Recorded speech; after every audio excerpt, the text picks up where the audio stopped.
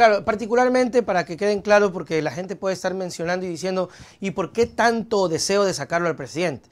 No es que es un deseo ni un capricho. Creo que las elecciones del domingo podrían ser tomados incluso como el, hecho de haberle dicho no a Lazo, ¿no? Es un rechazo a Lazo en todas las preguntas. Más allá de que se intente hacer un fraude, creo que hay mucha diferencia y va a ser muy complicado. Y si es que llega a revertirse con mañoserías, ahí sí, hasta ahí llegó el presidente de la República.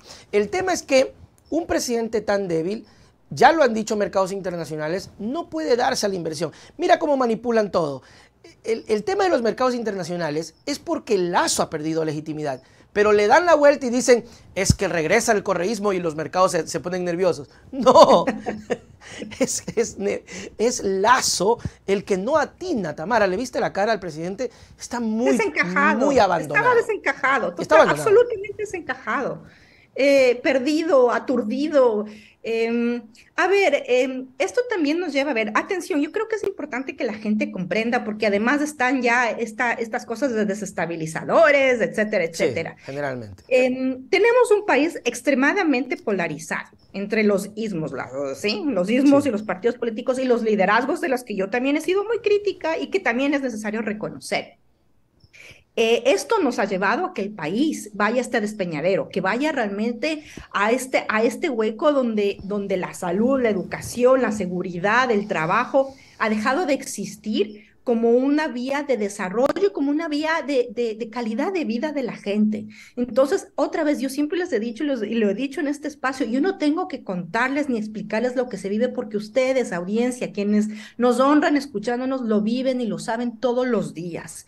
Entonces, frente a esta desidia, este olvido, esta incapacidad de un gobierno eh, de, asegurar derechos, ¿qué es lo que sucede? La gente empieza a sobrevivir y tenemos procesos eh, eh, democráticos, electorales, donde tenemos que elegir autoridades seccionales, se lo hace, pero también el gobierno nos mete un referéndum constitucional que fuera de todo cálculo, inclusive de quienes íbamos por el no, y existe esta voz contundente, porque me podrán decir, sí, la mitad de la población le dijo que sí a Lazo. No, eso no. A la final la democracia es contundente de decirle no al presidente, y no inclusive en preguntas que quizás eh, hubiese sido posible tener un cambio en la constitución, pero es un rechazo tan absoluto y tan contundente que le desencaja a un gobierno y que este gobierno ha sido incapaz de, de, de ajustarse. Pero además, Nelson, tenemos un presidente que no cumple con su palabra. Ese es el peor, eso es lo peor.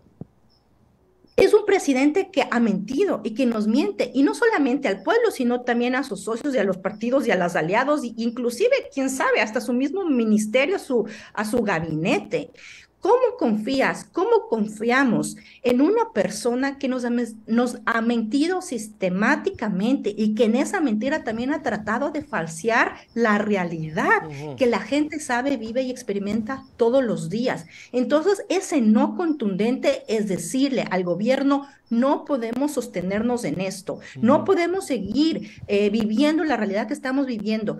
Y me dicen, me dirán y han dicho, bueno, ¿de qué sirve la inestabilidad de llamar a la inclusive que el presidente renuncie o la muerte cruzada si eso va a traer más eh, polarización y más inestabilidad? No, yo soy una persona convencida que eso nos puede traer la posibilidad de cambio y de transformación de un modelo de gobierno que en el que actualmente estamos neoliberal con el liderazgo de un hombre que fue banquero toda su vida y que soñó ser presidente y que llegó a serlo, que no ha respondido a su, a su rol como presidente y gobernante versus a muchas posibilidades políticas que están ahí también desde la ciudadanía de los partidos políticos poder plantearlas como otra posibilidad y otra probabilidad de que el Ecuador pueda salir de donde estamos y donde nos vamos cayendo, porque si seguimos así dos o tres años más, la caída va a seguir siendo vertiginosa y mientras más bajo caemos como país, más difícil va a ser levantarlo. Entonces, yo sí estoy convencida,